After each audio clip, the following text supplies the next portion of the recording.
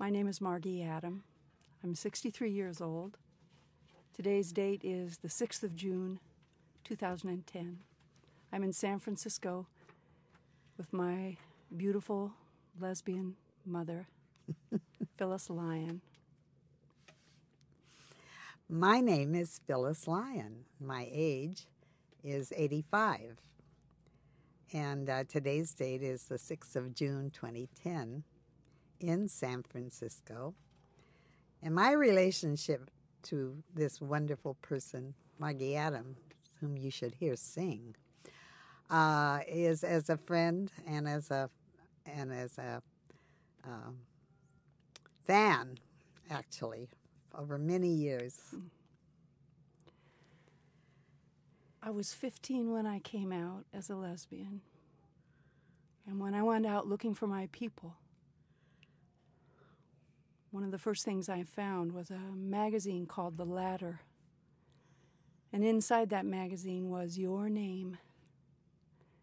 When I think of you, of all the ways I think of you, I think of you as my welcoming committee, that you welcomed me into the world of woman loving in so many ways that have made me, helped me become the open hearted and open minded woman I am. I'm so happy for the opportunity to talk with you today. And I'm just as happy to be able to talk to you as if we hadn't talked before, but not like this, I guess. Uh, Coming you out. had never told me about that. Well, I, you know, this has been an opportunity for me to think back. You know, when was the first time I ever saw your name or heard about you? And it was in print. It's really made me think about the different ways that lesbians come out. Some of us know from very early age that we're that we love other women, that we're drawn to girls, all of that. And some of us have no idea that that's true until we meet someone in particular. Let's see, how is it for you, Phyl? That's about the way it was for me. I certainly had no idea. Uh, as I said, I'm 85. So when I was in school, many, many, many years ago, they weren't teaching anything about sexuality. Or I don't even know if they ever mentioned the word. Goodness gracious. And so I had absolutely no idea, and I didn't really find out about le- that lesbians existed. I had a vague idea that uh, one of the boys that I had been in a drama class with and who committed suicide had done it because he was a homosexual. And I remember thinking that that was a ridiculous reason for God's sakes, why, you know, would that happen? But uh, I never heard the word lesbian. I never had any idea that women could be attracted to women, although I, when I think back on it, I do recall that there were times when I had some sort of a little inkling, but I didn't know what it meant or anything and so on. And it wasn't until uh, I was in my well, mid 20s, sort of, that um, I met the woman that I spent the rest of my life with, and that was Del Martin, uh, who came to work in the place in Seattle that I was working as a uh, associate editor on a magazine up there, and. I was excited about her coming up there because she was from San Francisco, and so was I, and so I thought that was exciting. And uh, so one day, uh, and we were all, all the women in the shop were in the business were excited about her coming. And uh, so one uh, evening after work, uh, Del and I and uh, another woman we work with, Pat, uh, went off to the press club to have a after work and before dinner drink. And we sat there chatting away and, and having our drink. And, um, and Del somewhere along the line got on the subject of homosexuality. And so, as she went on and on about this and so on, and one of us, I don't know, if, I don't remember, it was me or, or Pat, said, "How come you know so much about this homosexuality?" And she said, "Because I am one." and we all sort of went, Oop. and uh, so that was, and I think she must have then used the word lesbian. What was it about her that got a hold of you? What was it about Del Well, you mean as as a person? as a person? When we, Yeah. gosh, I I don't know. Um, she was a very interesting person. I mean, she knew a lot, and she was from down here, and we were up in Seattle, and uh, uh, Were you surprised when you actually found yourself moving towards her? That the energy between you was not only emotional but also physical and 'cause it- it- sexual? I don't think it became uh, physical or sexual or anything Uh-huh. else at the beginning. I mean, I had to stop and think about what in the world does lesbian mean. I mean, you know, how dumb can you be? I really didn't know enough about the situation to really figure out what. In fact, in fact, when I got home that evening, I called all the women at work and say, "Guess what? I found out tonight. Del's a lesbian." And they all mostly said, "Oh, that's good," or "That's nice," or something or other. And the only problem that came back was one woman whose husband said, "Well, after that, she could never have anything to do with me again, as well as long as I had anything to do with Del." There was only that one. There were about five or six of us. So, uh, so I hadn't. You could tell I didn't have a Mhm. clue as to what I should be doing or should not be doing. But you fell in love with each other. You moved into each other well, that took about three or four years. about three or four years. And at at some point you had to have told your mother. No,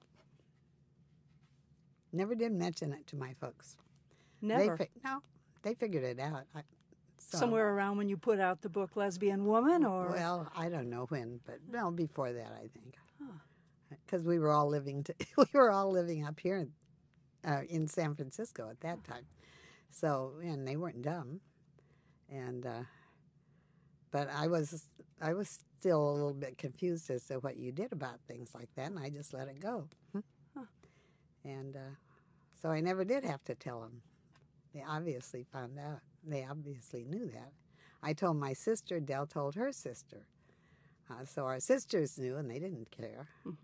They were fine. I'm going to change the subject just All a right, little bit. You can. I'm going to take you off into two years into your relationship with Del, meeting another lesbian and finding out that there was a gathering of a few lesbians, which then in, e- evolved to the founding of the Daughters of Bilitis. Would you talk a little bit about that? Sure. Uh, we got together in 1953 on on Valentine's Day. It was Del's idea. We'll never forget our anniversary, she said, and uh, we never did. So, uh, but we also wanted to meet more lesbians, and we didn't have any luck. We went to the lesbian bars and didn't get. I mean, we were too shy to go talk to them, and they didn't come around and talk to us. So it was kind of a losing battle. Uh, we did meet a couple of gay men that lived around the corner, and occasionally we went out together. And one time we went to a after hours party where we met and talked with for quite a while with uh, another lesbian, which was the first chance we'd had, really. And um, so we gave her our phone number. And then very shortly after that, we went looking for another apartment. Instead, we bought a house. And uh, I mean, we Del wanted a view, and this house has a terrific view. So, Yes, it does. uh, so in September of 50, 55, uh, we got a phone call from this woman asking us if we would be interested in coming to a meeting with six other couples, no, five, six other women, six, yeah, six other women, to start an organization, a social organization. And of course, we said yes, yes, because that meant we were going to meet more lesbians. And it turned out that what they what they wanted was to have a a social organization, really, and they were going to call it the Daughters of Bilitis because of the fo- of the poem by uh, the French man whose name escapes me, um, the songs of Bilitis, and uh, and they said because nobody else would know what the name meant, but all the lesbians would because every lesbian knows about that. We'd never heard of it, so we didn't believe that all lesbians knew about it, but. And So- we went to the library to find out. So DOB started as a secret Society. lesbian social club, Right. but at some point there was a split. Well, there was a split in the sense that we we had a problem. Well, first of all, Della and I got in, involved in. We found out about the two male organizations that were existed that Mattachine Society, Mattachine Society, and one incorporated down in Los Angeles, and um, we discovered also that there were a lot of laws that were anti-gay and a lot of things that needed to be done and so on and and uh, that there were more things to do than just party. And uh, we also had trouble. We lost a couple of members because they moved away, and you know the original people, and, and then it was hard to get other women to join because they were afraid to. And so in order to, we finally decided towards the end of the first year, we had gotten a few new members who were very good and, and worked really hard and so on. And uh, we decided we needed to do something besides what we were doing, which was mostly having parties at our house because we had the space and so on. And uh, so we uh, we decided we'd put out a newsletter and that we would uh, also um, have some kind of what was what was the other thing? Why is it escaping me? Um, The newsletters and the discussion groups and well, no, the newsletters. The newsletter was one. Oh, and then we decided that we would have a series of lectures, and uh, we had help from heterosexual women that we knew, and and one of them got us a, our chiropractor got us a, a good space to have these lectures, and and we got uh, friends that were. Uh, like Dr. Blanche Baker, who was a psychiatrist and who was So these are heterosexual, but was wonderful. Yeah, to come and speak about how it was okay to be lesbian or gay and so on, all of this kind of stuff. So what you were doing with early DOB was going directly at these biases that lesbians Well, after were the first, seen as as illegal, immoral, And sick. And so you began to organize on purpose to address those prejudices. and also get more members. I mean, I may, I, may, I think our major uh, need at the moment was to get more women Mm. involved, more lesbians involved. When I read the Ladder magazine, I was struck by the fact that I had to be 21 years old in order to order it. It was very, very hard on me to lie, to write to the Ladder and lie that I was 21 years old. And I also made up a fake name. You know, it was my address, but a fake name. I don't know what I thought I was doing with that little detail. But so desperate, as so many of us were, to make contact with other lesbians, but also terrified because it was illegal. DOB had a its first national conference in uh, 1960 in San Francisco. Right. You told me once about that story with the San Francisco sex detail and all of that. Well, that was fun. We finally decided that we got enough membership, and, and the Ladder, which we had not expected to turn into a magazine, had turned into a magazine. Oh, before I before we go on, I want to ask you about Ann Ferguson. Well, I was the first editor of the of the Ladder, and uh, I thought, oh God, if I put my name in it, then it'll be on the newsstands. Now it never got on the newsstands for Pete's sakes, but and I thought, and maybe Dad and Mom will find it, you know, which was pretty stupid. So I decided I better take a, a nom de plume. So I took my middle name and mother's uh, maiden name, Ann Ferguson. I lasted about four issues. And the fact was that when we had the lectures and people would want to meet Ann Ferguson, and then Del would call, Ann, Ann, Ann, Phyllis, and I'd turn around. So that was a stupid thing to So do. So you had to kill her off. I killed her off. yes. the Ladder was started out as just as what we thought was just a newsletter, and and the first issue we did on the Mattachine Society's uh, mimeograph, and we. Uh, I think we got about a hundred copies of it, and we mailed it to every lesbian that anybody in the group knew, because that's all we knew. You know, if they knew somebody somewhere. And I remember hearing from one friend who was in New York or D.C. at the time when she got her first copy.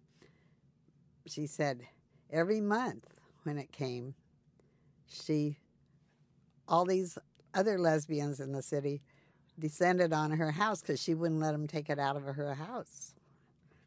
And um, but they didn't subscribe.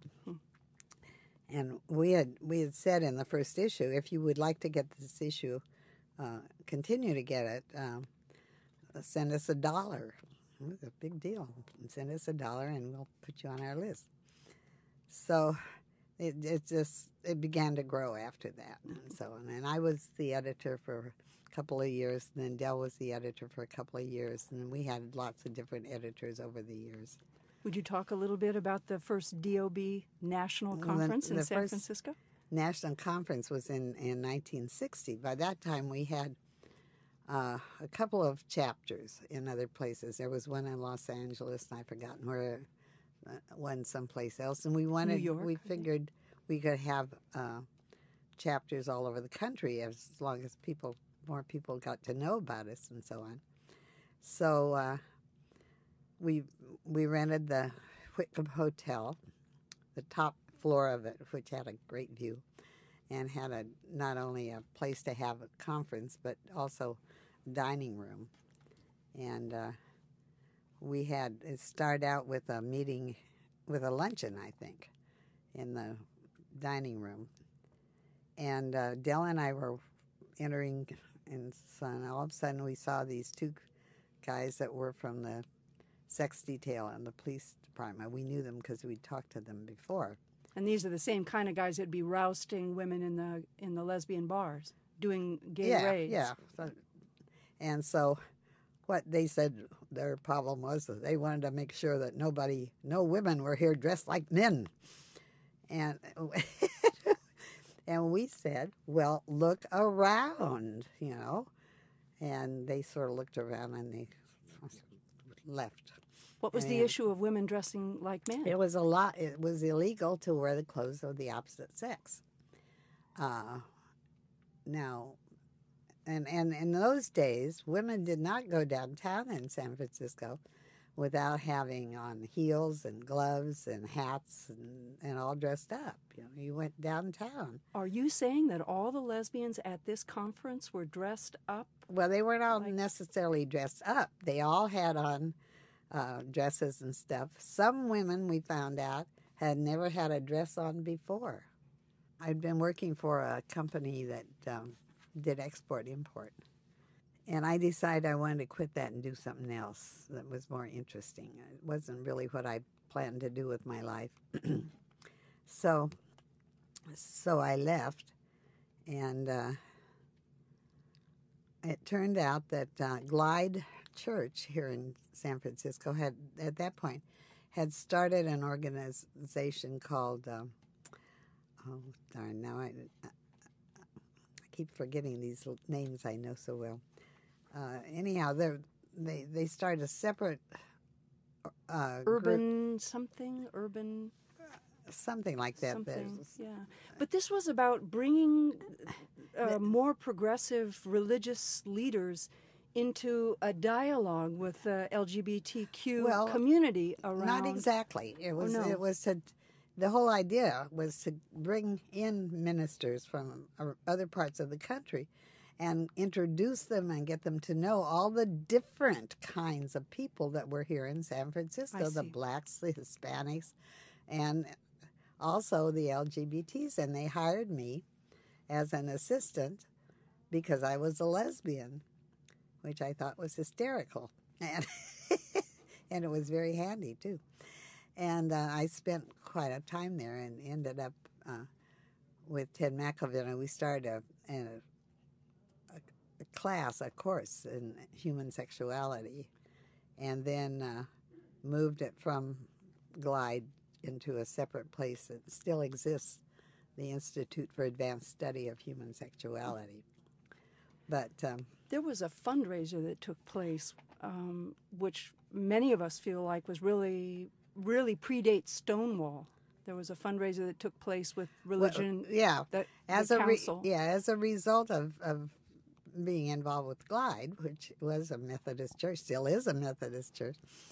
Uh, the only Methodist church I know of that is so open to gays and lesbians and hoo-haws, anybody, uh, is uh, Ted McIlvenna, one of the ministers that I worked for, uh, thought it would be a good idea. Maybe we might want to get together and talk about starting an organization, like you know, like the Council on Religion and the Homosexual. And uh, so we did have a meeting, and we did decide we were going to um, start something like that. The, those of us who were at this meeting, and uh, which was, I think, Della and I were the only lesbians there. And uh, we uh,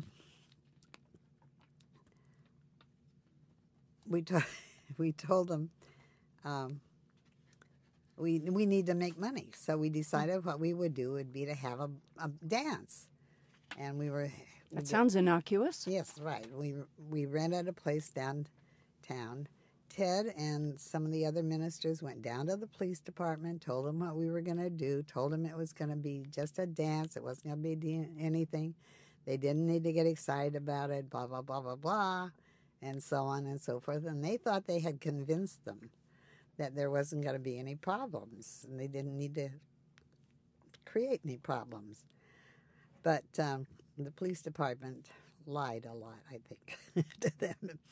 And uh, when Della and I got there early, and there was not, we were a little surprised to see that there were several paddy wagons there uh, parked around. But we went on in and we were taking tickets. That's what our job was. We were the ticket takers. And we had arranged it so you weren't, nobody was paying. They all had gotten their tickets ahead of time and so on and so forth. We were following every law in the world, I think. And uh, as time went by and people were coming in, we, we began to notice that people were looking very strange when they'd come by and give us their tickets and stuff. They, they looked sort of startled and sort of scared and so on. And it turned out that the cops had lined up along the, there was a big set of stairs going up to the front door. They'd lined up on both sides. They had flash uh, spotlights shining on everybody. They were taking movies, films of everybody going in. A lot of people saw that and just went on by.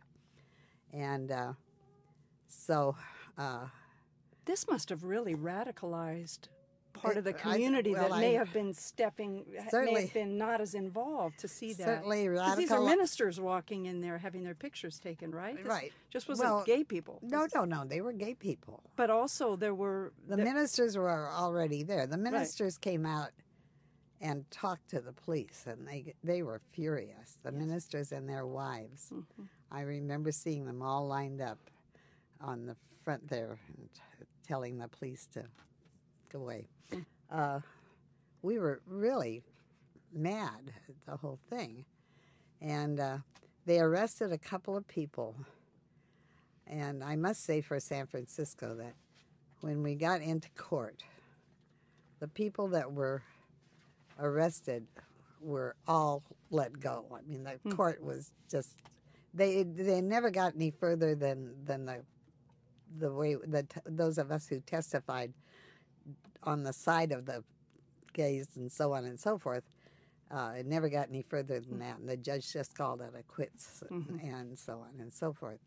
These were people going to a, a, a party who were all lesbians and uh, homose- all homosexuals, and homosexuals weren't supposed to get together. So it was actually the issue of assembling Yeah, a whole bunch of gay people assembling. basically, Wow. and uh, the court wouldn't have anything to do with that. In 1972, you and Del published a book called Lesbian Woman.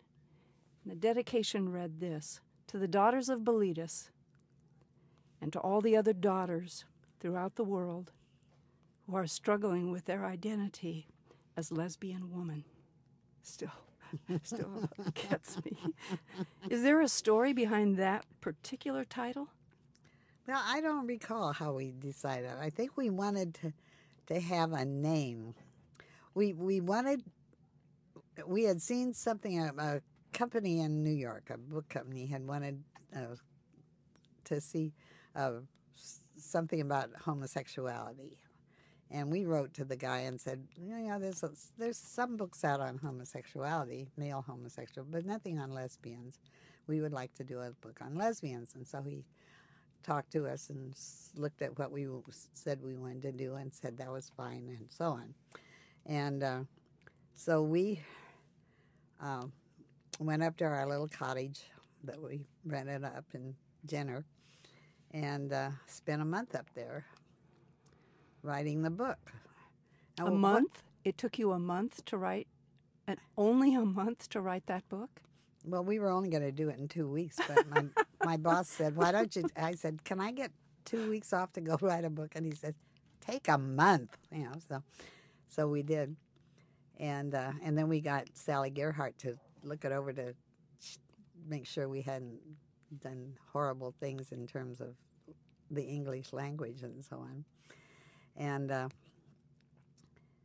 and then we eventually, by this time, the guy that we were working with, with the book company, had left, and there was a woman in his place.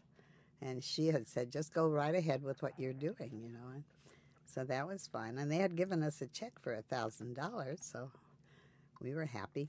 And uh, so we sent the manuscript back to her. And the next thing we knew was we got this letter back from her that said, uh, you didn't do what you said you were going to do. You didn't do anything you said you were going to do. You have to rewrite the whole thing. It's terrible. It's awful. You blah, blah, blah, blah. and so on. And we're going, huh? And she, and then she says, she's saying, and you have to send the check back.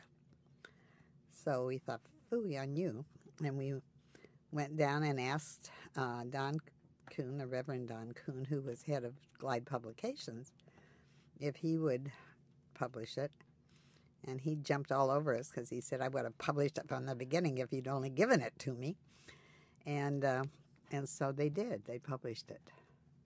We never gave the thousand dollars back to that other book company either. Of all the responses you had to that book, that you've had to that book, what are the ones that have been most affecting for you? What have been the ones most gratifying to you? Well, it was amazing. Mostly how difficult it was for so many women to get the book. Uh, I mean, they'd see it, but they didn't dare, like, they didn't dare take it out of the library, but they would get it in the library and then they would hide it somewhere so they could go back and finish reading it. And it's funny, funny stories of uh, how young women went and found the book in the drugstore and a paper, when it came out in a paperback, which is why it it got so, so much uh, was del- you know there were so many copies. And I remember this one group, and they found it, and they were all lesbians apparently, and they were back east somewhere, and they didn't know quite what to do, and they thought, well, we'll just get a bunch of books. So they got a whole bunch of books and put them together in a pile. And of course, when the woman was checking them out, she was taking them one at a time. and that didn't seem to bother her that they were getting this book called Lesbian Woman. But we heard from so many people uh, that it saved their lives. And I'm still, every now and then, somebody will say, you know, your book saved my life. I remember being in the San Fran- uh, in the Chicago airport and seeing the book there among all the rest of the mainstream books and just crying my eyes out. It was so moving for me to see that that one book moved a whole community of people within the LGBTQ community right into the mainstream with that one single book.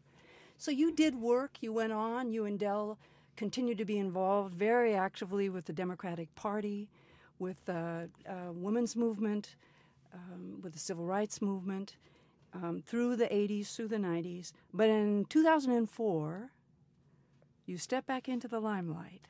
You got a phone call from Kate Kendall of the National Center for Lesbian Rights. What was that call about? And what happened next? Beats me. Something to do with you and Del stepping out, and maybe the mayor of San Francisco wanting to have you come oh, down there. Oh, oh, oh, that. Well, we had not been fans of getting married. Uh, we had done all the other stuff. We'd, we'd been, you know, signed up for partnerships and whatever and whatever and whatever there was. But um, we were with the feminist movement, and the feminist movement was anti-marriage. So, uh, because well, because the you know they felt that men took a hell of an advantage over their wives, and which I think was true, and and uh, and women didn't really have a way to fight back, or some women anyway, and. Uh, so we hadn't even given that a thought. But when Kate Kendall from the National Center for uh, Lesbian Rights called us, it was in 2004. And she said, How would you like to get married? And we said, Huh? you know, what? What? Well, the mayor wants to uh, arrange for gay marriages. And there's a little bit of an argument with his staff and so on. We're not sure, but we think that it would be you and Del should be the first ones to get married. And we said, well, let us know when you find out what's going on. And so we talked about and said, I guess we could do that, you know. And uh, what was your reasoning, given that you hadn't agreed with the idea in general, well, because, in concept? Well, the whole idea was that that if we could start something and the gay people could get married, then lesbians weren't going to do the same thing men and women did. So what the hell? But there are a lot of advantages to being married. Mm you know, money advantages yeah. a whole, a whole bunch of advantages. So uh, uh, we didn't hear till the next day, and so the next day she said, "Okay, we've we've arranged it. He's not going to do the. They had convinced the mayor he he was he'd only been in in in office ten days when he started wow. this." and they had convinced him that that was enough and he didn't need to be the one that did the marriage so they had the uh, Mabel, Mabel Teng, who was the uh, uh, comptroller, I think.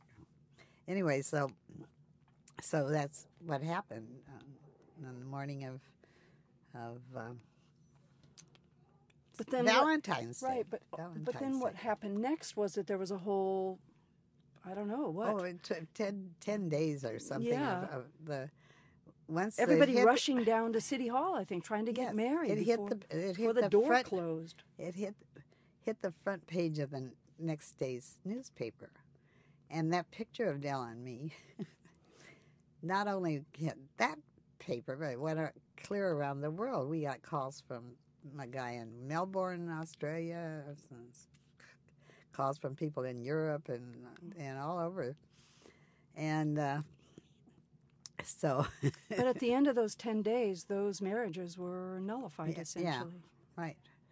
So you the court said no way. Mm-hmm. So. So what did it feel like in 2008 when they called back and said, "Well, we're going to try it again. let's let's let's see how we can make it go this time." Deja vu all well, over I, again. Yeah, it was. Although this time there was a lot of there was some time enough that we could get our family to come to the wedding, so that that which has not been possible at the time before. So that we did have Kendra and Eugene, Del's daughter, who's now my daughter, and and uh, my sister, and, and all our friends, and so on, uh, could come and watch it. It was a lovely event. It you really know, was. Having the kind of reception after the fact with everybody standing around and people who really wanted to say something to the two of you. Many couples came up to the two of you to thank you, and it was a it was really a beautiful It was a beautiful gathering thing. after yeah. then. Right. So we're kind of coming to the end of this interview, and I'm I'm interested to know: was there ever a time in this work that you've done, all the different issues that you felt so passionately about? Was there ever a point where you thought this is just too much? I just feel burnt out. Well, I don't think so, hon. I think that there were so many different things happening. Uh, we did, we did uh, move away from DOB, for instance, and and uh, so on. we got more involved in the na- in the National Organization for Women. we made it. Del insisted on running as a lesbian for the board of directors which was certainly against Betty Friedan's wishes, along with a lot of other people's wishes. And uh, she won anyway because the lesbians and NOW were for it, and uh, so on. So we did, you know, a lot of other things too. But uh, but we were always involved with the le- with the gay and lesbian movement too. No matter what else you were yeah. doing. Is there one particular challenge for you in your life, in the work that you've done as a lesbian feminist activist? What would you say your largest challenge has been? Oh dear. Uh, well, I think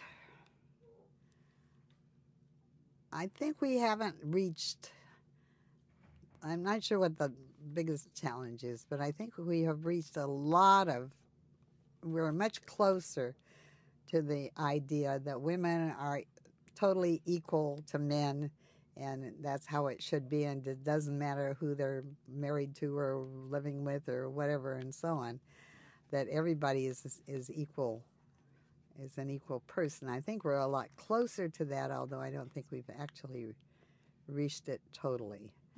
Uh, you can see these days how the the issue of gays and lesbians, for instance, is not a big problem in San Francisco at all, and in a lot of other places at all, and in a lot of states, it's it's legal to get married, in other states and so on, and in some other states, it's totally illegal still. So there's a long way to go. Right. Is there anything you've changed your mind about? In the work that you've done and the issues that you've really committed yourself to, have you changed your mind about anything? Well, I think probably about the issue of marriage, if, if anything. I can't think of anything else. Uh, it's obvious that it's it should be legal for us to get married, and you know, and and have all the same. And still, we still don't have. We get married here in California, yes, uh, but we can't get all the benefits that from the federal government. For instance, when Del died, you know, I don't get her Social Security, and if we were a heterosexual couple, I would. Uh, but those are, you know, so there's still a long way to go, and a lot of states, including California, don't allow gay marriage. So, That's right, not Uh, yet. yeah, yeah. As a young person, it was so shocking to me that I had slipped through this set of expectations into a new world. I had no information about it all. I was 15 years old and, you know, in a real brave new world, looking around going, wow, where's this and who am I and what's this all about? So I went to the library and tried to mm. get information from books. And I found this book written by Jess Stearn called The Grapevine. And in the back of that book was a description of a Daughters of Bilitis meeting. And in that description, there was a footnote that said that there was a literary magazine called The Ladder that was associated with um, with the Daughters of Bilitis. Now, I looked for that magazine everywhere. I looked and looked. All my gay and lesbian literature, all had little brown paper bags. They were all on my bookshelf, but they all had brown paper bags around them. I mean, 15 years old, but I knew I had to hide this even as I was becoming more whole. And um, I lived in a tiny little town called Lompoc, California, population 5,000.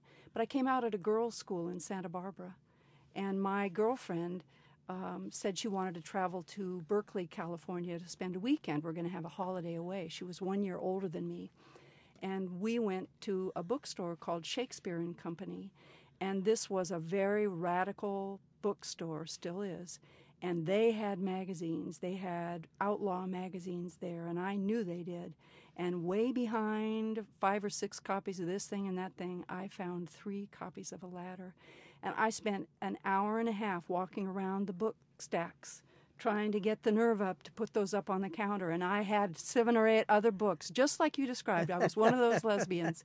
And finally thought, this is it. You know, it, it's. It's as bad as buying Kotex, you know. It's worse. I don't know. I mean, whatever it was, I was saying to myself, I was so panicked, but I was so desperate to know what was inside those magazines that I, I screwed my courage up and went up there and did that. And I, you know, I, I've heard so many people talk about buying the books, going to the concerts, walking in the bookstores, you know, going to the dance events, going to the poetry readings that lesbians have done in the last 30 years, 40 years in tiny towns in big cities. And, but for me, it was the Ladder. The Ladder was the first time I ever, you know, took a deep breath and said, This is who I am.